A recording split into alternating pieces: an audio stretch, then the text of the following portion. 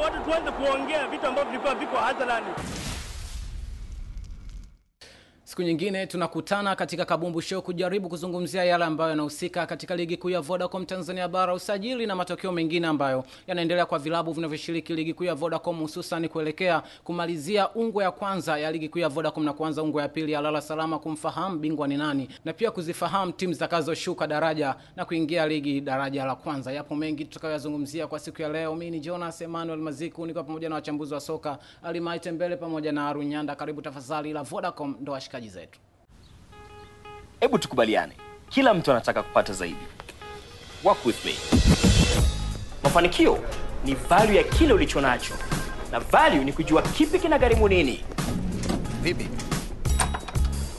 Najua thamani yangu, that's why I give more.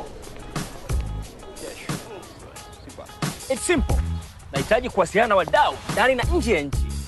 With Vodacom Red, napiga simu mtandao wowote nchini na 5 destination nje ya nchi kwa shilingi moja tu na nusu kwa sekunde, na pia napata the best internet bundles. Vodacom Red, that's value.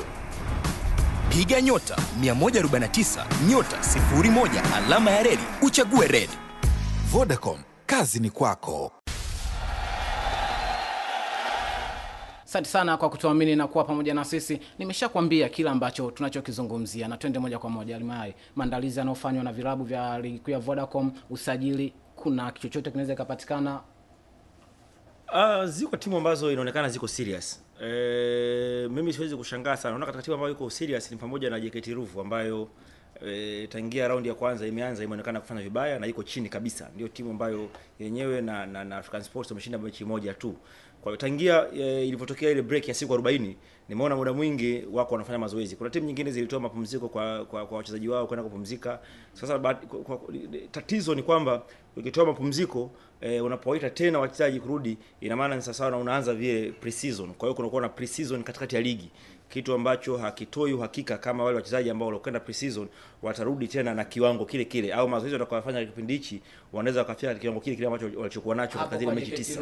Wanaendelea na mazoezi kipindi hicho. Mwalimu wao mkuu yupo na timu za taifa Kilimanjaro Stars na Taifa Stars, timu iko chini ya kocha msaidizi, pengine inaweza kupata kitu kizuri kama ndivyo mwalimu. Kubwa ni ile program kusema tu kwamba hebu si- si si tusibreak, hawa wengine waache wa break waende kupumzika, lakini si tusibreak, tufanye program hii hapa katika siku hizi hapa 40 mapumziko siku 40, pengine baada tupumzike kila weekend tu, lakini tuendelee na program hii eh, kwa sababu moja kati ya matatizo ambayo walikuwa nayo ni kutokuwa na combination nzuri pale ya ufungaji. Watu kama kina Sadi Kipanga ambao walikuwa masajili kina kina Gaudens Mwaikimba hawakuonekana kuperform vizuri katika mechi za kwanza zile za ligi. Sasa tukae pamoja ili tutengeneze chemistry ambayo katika zile mechi zilizosalia za raundi ya kwanza tukirudi, pengine itakuwa imeshaanza kufanya kazi ili tuanze kupata matokeo. Sasa hiyo ni moja kati ya vitu ambavyo pengine vinaweza vikawa vina faida, lakini kuna timu nyingine ambazo e, unawasikia timu kama African Sports au, au Coast Union, sijasikia maandalizi yao na hata kucheza mechi za kirafiki na hata usajili sijasikia. Kwa hiyo kwa kweli bado kuna timu ambazo nafikiri hazijafanikiwa eh, hazijafanikiwa kutumia vizuri hichi kipindi cha mapumziko ya siku Arunyanda, 40. unatazamaje hizi siku 40 za mapumziko, maandalizi pamoja na usajili ambao baadhi umefanyika kwa baadhi ya timu zinazoshiriki ligi kuu ya Vodacom?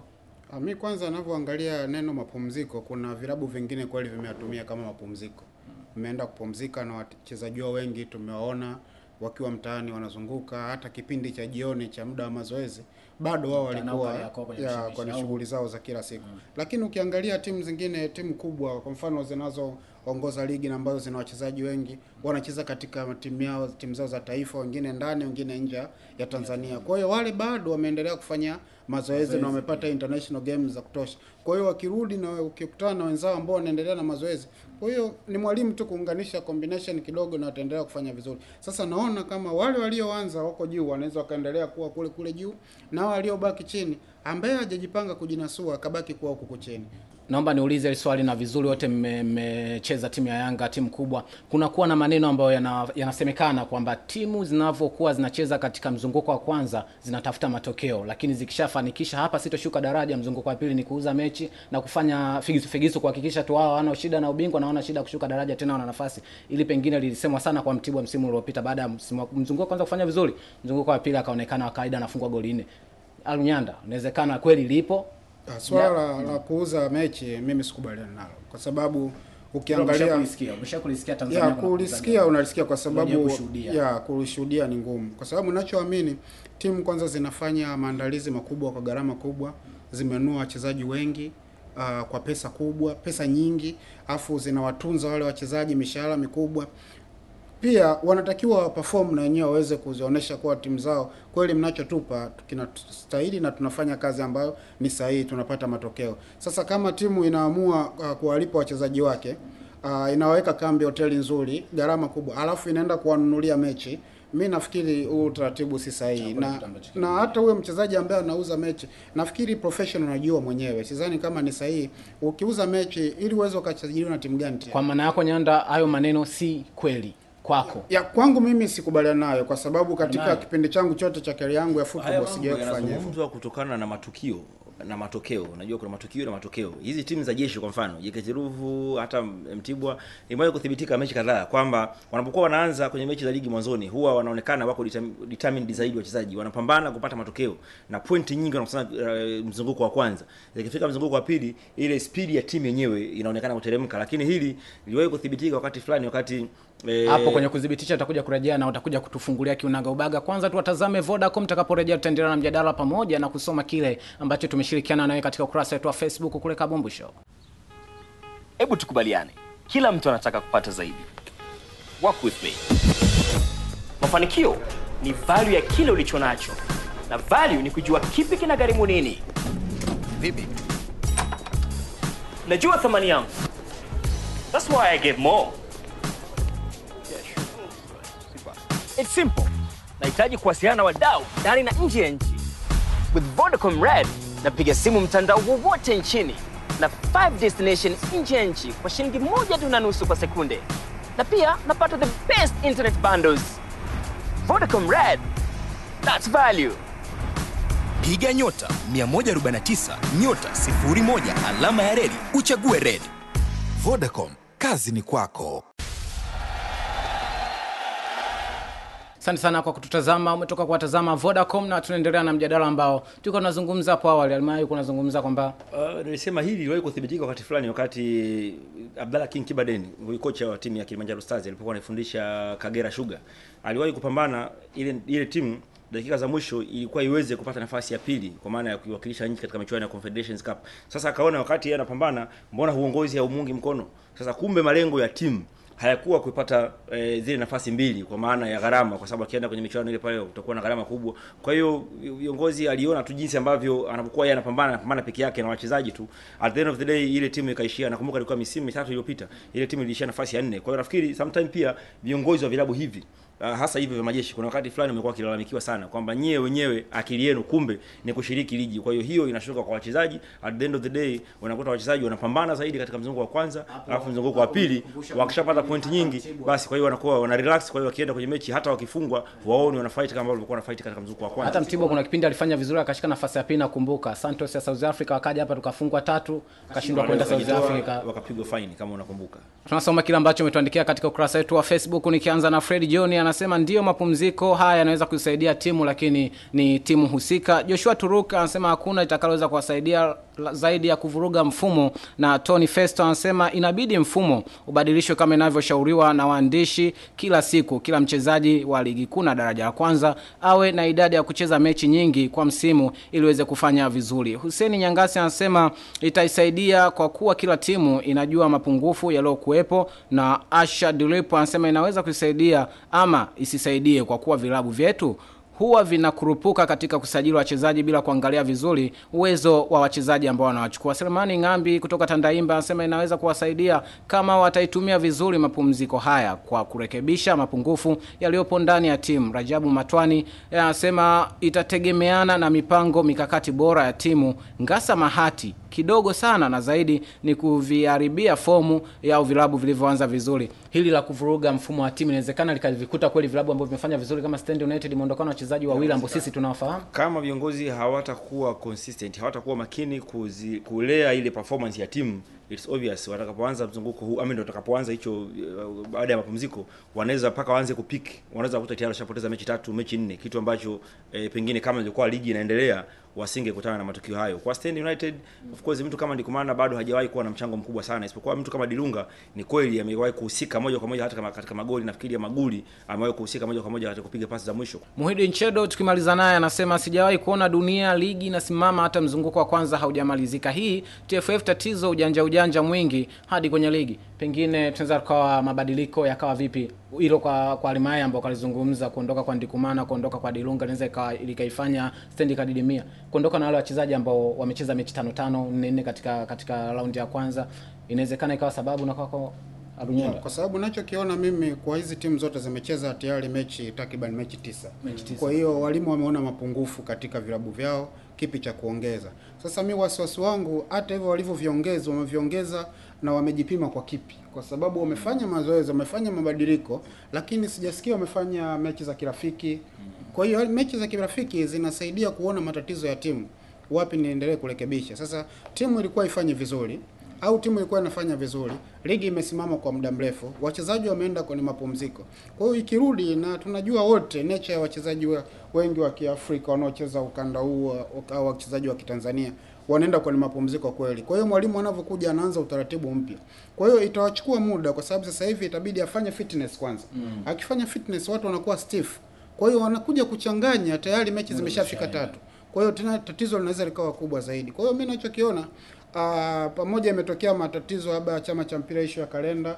Nafikiri huko uh, mbeleni hata wenyewe chama cha mpira wataangalia utaratibu mzuri wa kusimamia kalenda ili tuweze kuenenda kuenenda uh, utaratibu wa ligi yetu na mipira mingine katika Afrika hata FIFA pia. Ali Maite Mbele, Arunyanda, mimi ni Jonas Emmanuel Maziku. Tumezungumza kiunagaubaga, lakini safari bado ipo na wewe. Mwenzetu Frank Charles Gibebe yuko mtaani, amezungumza na wadau wengi sana kuhusiana na hili ambalo sisi tumelifikisha kwako. Hebu tukubaliane, kila mtu anataka kupata zaidi. Work with me. Mafanikio ni value ya kile ulicho nacho, na value ni kujua kipi kina gharimu nini. Vipi? Najua thamani yangu, that's why I give more. It's simple. Nahitaji kuwasiliana na wadau ndani na nje ya nchi. With Vodacom Red napiga simu mtandao wowote nchini na 5 destination nje ya nchi kwa shilingi moja tu na nusu kwa sekunde, na pia napata the best internet bundles. Vodacom Red, that's value. Piga nyota 149 nyota 01 alama ya reli uchague red. Vodacom, kazi ni kwako. Asante sana Jonas Emmanuel Maziko. Fursa nyingine nakutana na wadau wa soka mtaani kuzungumza ndani ya kipindi cha Kabumbu Show, kuweza kuzungumzia mada ambayo tunaizungumzia kwa siku ya leo. Mimi ni Frank Charles Bebe, nizungumze na wadau wa soka kuhusiana na hili. Karibu sana. ukiangalia wingi wa timu hazina uwezo wa kifedha. Naweza nikasema mathalan kama African wana migogoro mpaka sasa hivi. Timu bado tunaziona zipo katika mipango yao ile ile, lakini ukiangalia sana kwa Yanga, Simba. Afadhali kidogo sasa hivi tunasema stage baada ya kupata uuzani kidogo. Kocha Joseph Mazalo amezungumza wazi, ameweka sababu ambazo kwa nini timu ifanye vizuri. Cha kwanza kwamba timu wachezaji hawapati chakula, hawapati mishahara yao kwa wakati. Hivi kweli ndugu mtangazaji, unaweza kufikiria hii timu inaweza ikafanya vizuri? mabadiliko yapo. Kwa mfano ukichukulia sisi tulivyokuwa tunacheza, kuna vitu vingi sana vilikuwa na mapungufu.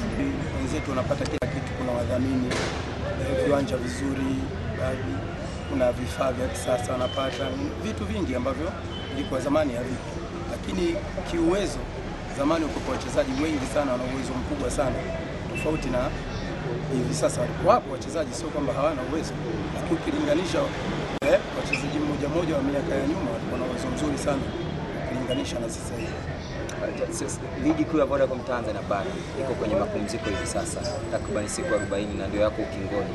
Timu mbalimbali tunaona ziko kwenye maandalizi, zinajifua kuhakikisha wanakuja kumaliza ile raundi ya kwanza, ile ile raundi ya kwanza vizuri. Haya maandalizi yanaweza yakatoa taswira mabadiliko kwenye hii raundi ya mwisho ambayo tunaitaraji. Kipindi hichi ndio kipindi cha kujifunza yale yaliyopita na kuangalia haya yanayotaka kuja. Kama ulikosea mahali fulani, sasa hivi unarekebisha ili usirudie yale yaliyotoka kipindi hicho. wakati nyinyi mnacheza kulikuwa kuna programu za kukuza soka la vijana tofauti na hivi sasa? Ni kweli, kwa sababu mimi pia nitakuwa shahidi, kwa sababu mimi mmoja kati ya wachezaji vijana waliokuwa kwenye klabu ya Simba mpaka nikafikia kuwa mchezaji wa timu kubwa ya Simba. Kwa hiyo nilicheza kwenye timu ya vijana ya Simba, lakini pia kabla ya hapo tulipokuwa tuko shuleni pia kulikuwepo na ule mfumo wa timu ya UMISETA, eh, zile timu za shule za sekondari. Kwa hiyo moja kwa moja kulikuwepo na msingi mzuri wa mchezaji kuwa anacheza katika kiwango eh, kikubwa tangu ukiwa mdogo. timu zilizoko chini vile vile zinaweza kufanya maajabu, zinafanya vizuri, hususan hata klabu yetu sisi ya Simba pia vile vile naamini timu hii itafanya vizuri sana. Simba kubwa sana ilikuwa kwenye mbadala wa Emmanuel Okwi, kwa sababu Okwi alikuwa akikamata mpira anaweza akadrive akasukuma timu na akafunga ambaye haogopi beki, akishika mpira huko anafuata mtu anakwenda. Sasa sifa hiyo Majuega pia vilevile naye anayo. Tunasonga mbele na hivi sasa tuko na wazee wa zamani, wazee wa Sunderland. Hivi sasa ndio Simba Sports Club. Na, na, nataka tuzungumze kwanza kuhusiana na Sunderland. Watu walikuwa wa- wa- vijana siku hizi wanaisikia tu Sunderland, Sunderland, lakini uwezo uliokuwa unaonyeshwa na Sunderland na Simba ya hivi sasa kuna utofauti. tofauti ulipo kubwa sana. Tofauti yake viongozi wa sasa si viongozi wa mpira, ni viongozi wa maslahi yao. Enzi ya Sunderland tulikuwa tuchagui watu kutoka Oysterbay, kutoka Masaki, kutoka nani Sasaki, tulikuwa tunachagua watu viongozi wetu wa huku kuswahilini. Asante sana Frank Charles Gibebe, Anko Charaza mwenzetu, ukiwa umezungumza na wadau wa soka ikiwemo wachezaji wa zamani ambao wameshawahi kuitumikia klabu ya Yanga pamoja na klabu ya Simba. Mengi wameyazungumza, na hapo tuendelee sisi kuzungumza zaidi baadaye. Frank Charles Gibebe atakuja kuendelea kuzungumza na mgeni wa wiki. Je, tazame sasa uh, hiki kitendo ambacho kimeendelea klabu ya Simba ku, kama kama ku- ku- kupokonyana mchezaji na timu ya, ya Azam Majwega inajenga picha gani katika ligi kuu ya Vodacom Alimai? kutokuwa kuwa na imani sana na wachezaji wa kigeni bado ipo. Ah, moja hiyo ni mtazamo wa kocha, kwa sababu kocha kikubwa hasa sasa hivi ni huu mwingiliano wa wachezaji, of course ni utashi wa mchezaji, kwa sababu Majwega kule alipokuwa Azam, tangia mwanzo alionekana kwamba alipokuja tu eh, Stuart John Hall alionekana kama kutomhitaji, na hasa baada ya yeye kuonesha interest kwamba anamchukua Singano kutoka Simba. Kwa hiyo tangia alipoenda pale Singano, ingawa Singano katika mechi za mwanzo kule Azam hakucheza, kwa hiyo ikaonekana kabisa kwamba Majuega hakuwa na nafasi. Hebu turejee kwake Frank Charles Gibebe, anazungumza na golikipa wa zamani wa timu ya taifa ya Tanzania pamoja na klabu ya Young African Juma Pondamali Mesa. Amezungumza mengi sana kuhusiana na mtazamo wake wa ligi kuu ya Vodacom Tanzania bara. Karibu sana mtazamaji wa Kabumbu Show. Fursa nzuri tunakutana tena kuzungumza na mgeni wa wiki ukiwa nami Frank Charles Bebe, lakini kwa siku ya leo nitakuwa na mchezaji wa zamani. Huyu ni goalkeeper wa zamani wa timu ya taifa ya Tanzania Taifa Stars, lakini pia timu ya Young African, si mwingine bali ni Juma Pondamali Mensa ambaye tutazungumza naye mengi sana kuhusiana na soka la Tanzania, hasa ligi kuu ya Vodacom Tanzania bara. Kumbuka pia huyu ni kocha wa makipa wa klabu ya Young Africa baada ya mapumziko ya siku 40 ya ligi kuu ya Vodacom Tanzania bara kuelekea ukingoni. Tumeona takriban timu kadha wa kadha zinazoshiriki ligi hiyo zikiwa kwenye maandalizi makali kweli kuelekea ile e, ingwe ya lala salama raundi ya kwanza ligi kuu ya Vodacom Tanzania bara. Maandalizi haya kipindi hiki yanatoa taswira gani kwenye raundi ijayo? Eh, maandalizi kwa kweli ni magumu na ugumu wake unakuja kwamba kila timu sasa hivi kwamba inatafuta baadhi ya wachezaji walikuwa pale kwenye mapungufu kusudi waje warekebishe timu zao. Hii ligi tangu imeanza ilikuwa tayari ligi ishakuwa ngumu, ile tu walivyosema kwamba mshindi wa pili katika ligi hii hatawakilisha nchi. Sasa kutokana na mambo hayo kwamba hii ligi itakuwa ngumu kuliko ligi zote wanazo- wanazozifikiria. Kwa sababu gani? Watu wote hizo katika timu zilizoshiriki inagombania nafasi moja tu. Angalia hata watu zile timu zinavyofukuzana, nafasi zao zinafukuzana ni ndogo, kwamba mtu kapitwa sana ni pointi mbili, pointi moja. Kutokana na vitu kama hivyo, ligi lazima itakuwa ngumu, na kipindi hichi sasa hivi kila timu ipata nafasi ya kusajili Ziko- chini yake pale ziko vibaya, nazo vile jitahidi nao watafute wachezaji waliokuwa wa- wazuri waongezee kwao, kusudi katika ligi itapoanza tu wapambane na kuhakikisha kwamba na wao wanafanya vizuri, wa- waondoke katika ligi janga la kutaka kufika daraja. Makipa hivi sasa wamekuwa hadimu, still kwenye kiwango imekuwa changamoto. Hili ni kwa nini tunaliona kwenye ligi yetu? Eh, kuhusu katika makipa ni changamoto kwa sababu moja, ilikuwa makocha wengi sana walikuwa katika wana coach coach makipa walikuwa kwanza hawana vyeti. Na kama utakumbuka hivi karibuni tu ndio imepita kuna kozi moja eh, imetokea pale TFF eh, ya, ma, ya makocha makipa. Maki- Makocha wengi wa mikoani walikuwa wanafundisha tu kwa uzoefu wao eh, lakini tofauti mtu kama mimi, mimi nimeshakuwa ni timu miaka kumi hii timu ya Tanzania chakana Maximo miaka minne chaka na Posen yule mtu mzima. Miaka mitatu nikakaa na Posen mwingine. Kim Posen nikakaa naye na miaka mitatu. Kwa hiyo kutoka mitatu mitatu na minne miaka miaka kumi na hiyo timu. Kwa hivyo eh, kitu kama kile mimi licha ya hivyo nilikuwa nimepata certificate ya CAF ilikuwa 98 na nikapata certificate certificate ya FIFA bora ilikuwa katika elfu mbili. Vijana wanacheza wanafundishwa na, ma, na makocha walikuwa anayemfundisha anataka amfundishe alivyokuwa anacheza yeye katika mpira duniani hicho kitu hakipo tatizo la Tanzania wanashindwa basi sehemu kulea vipaji wanakuwa kwanza wenye katika makipa waweke kwa, kwa grade. Ule kuweka kwa grade maana yake nini? Kishakuwa umeshapata watu wanne hao wako katika ile kosi cha juu. Je under 23 kwa kipa yake nani? Na msaidizi wake nani? Nakumbuka kama si mwaka 1979 au 80 umewahi kufanya vizuri katika michuano ya Afrika ukiwa na kina Reod Chilatenga na wachezaji wengine. Sawa. Ni jitihada gani ambazo zimekosekana hivi sasa nyie mli- mli- mlikuwa nazo tofauti na hivi sasa? Eh, kuna tofauti kidogo. Unajua, unaona watu wengi sana utakuwa imekuwa kama ni history, na ukiangalia sasa hivi ishazidi kama miaka 40 hivi eh, kwamba kwa nini wale wale kina Pondamali kina Mambo sasa kina Maazi tulikuwa tunaenda China, tunaenda Ujerumani Mashariki, bora tulikuwa tunaenda Bulgaria, tuna team ilikuwa ina, trip inaandaliwa. Angalia, tulikuwa tuna makampuni kama haya, lakini sisi tunakwenda sana nje eh? Ukiondoa zile mishutumu kwenda sana nje, na hatukai kule wiki mbili, tunakaa kule mwezi mmoja. Tunakaa hivi bila miezi miwili. Tushakwenda ku- Bulgaria. Kucheza timu ya vijana ya Bulgaria ile anaitwa mtiri yao na timu yetu ile kubwa. Tulicheza nayo mara mbili. Utaona nicho timu imeenda zake Uturuki. Umekaa siku kumi tu. Eh, na tunajisifia kwamba timu imeenda kwenye kempu. Kempu gani ya siku kumi? Wewe ni mwalimu wa soka hivi sasa, Ndio. kocha wa makipa wa Young Africa. Leo hii mkataba wako unatokea unamalizika, uko tayari kusaini na timu yoyote? Sasa ikitokea kama wekundu wa Msimbazi wamevutiwa na uwezo wako, akasema tunataka kusaini kandarasi hapa Pondamali, utusaidie, leo hii uko tayari? najua katika nchi hicho kitu hakipo Kwa nini mwalimu? Kwa sababu gani? Mimi nimelelewa na Yanga tangu utoto na miaka kumi na tatu. Tulifundishwa na mzungu anaitwa Stan profesa waona Victor. Huyo alikuwa katoka Romania, ni profesa wa mpira.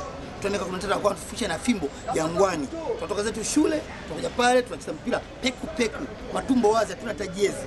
Watu wanakumbuka miaka ya sabini. Kawaida hizi Simba na Yanga, mimi nazielewa kabisa zilivyo. Hata uwe kocha mzuri unafundisha paka kwa ulimi.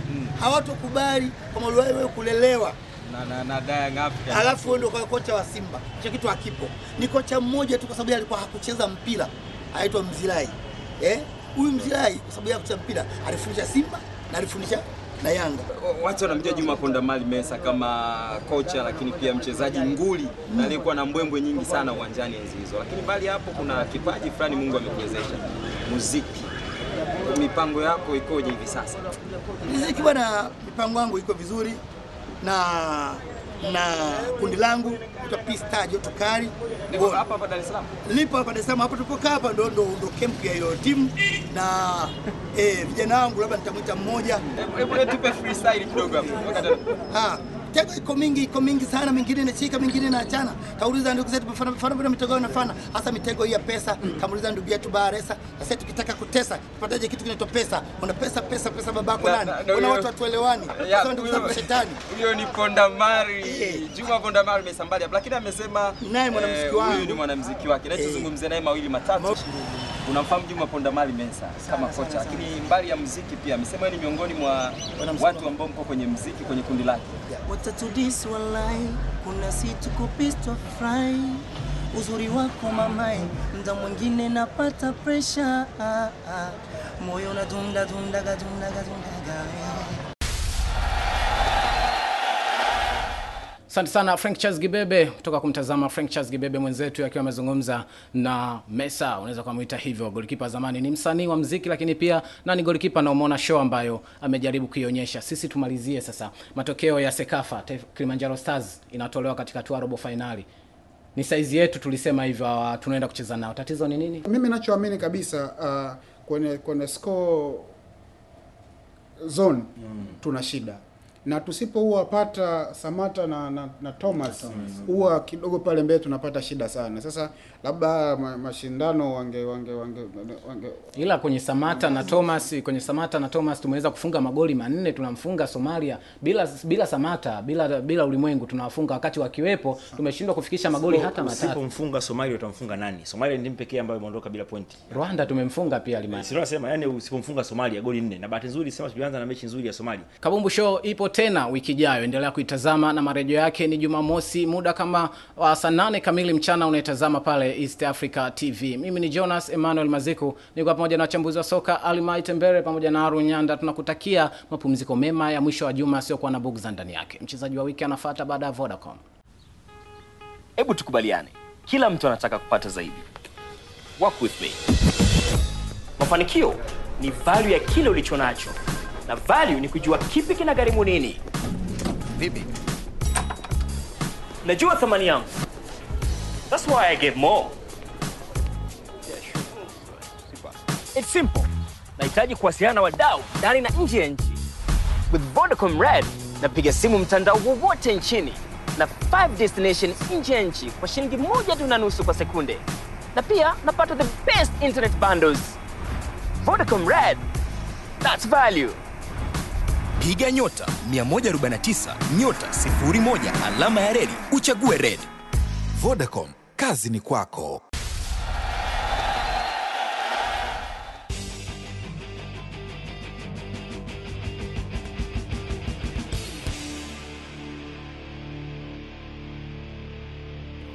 Ah, kwa jina naitwa Miraji asumani Madenge.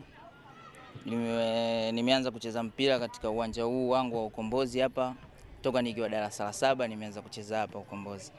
Nilianza Sifa United daraja la tatu. Mwalimu wa kwanza kuniona, kuona kipaji changu anaitwa Hassan Pazi, ndo aliona kipaji changu akanishawishi hadi nikaingia kwenye masuala ya soka. Ah, ndani naweza kucheza namba saba, namba kumi, namba tisa, namba kumi na moja. Mimi kwa nayemhofia sana yani na afu na namkubali sana Hassan Isiaka, huwa akiwa anacheza na nakuwa anapata yani nakuwa namwaza nitampitaje na Shabalala nje Chef Shengo kama wajina wangu. Mimi napenda kupika wali nyama. Mimi naona labda ni ku- kuji- kujitunza, tuna mazoezi hivi, kujitolea ukiwa uwanjani, labda watu wanakuwa wanajisahau hivi, labda kama wanafanya mazoezi au vipi, ndio maana wanakuwa sometime hawapati bahati ya kucheza, ila naamini kama Tanzania watu wanajielewa na wanafanya kweli mazoezi, tuna vipaji vingi sana. Timu ambayo natamani kucheza siku moja ni Manchester United. Ah, Kitu ambacho katika maisha yangu nimefurahia siku ambayo ticha yangu Hassan Pazi ananifundisha jinsi ya kufunga. Kipindi hiki cha Kabumbu kimeletwa kwako kwa udhamini wa Vodacom. Kazi ni kwako.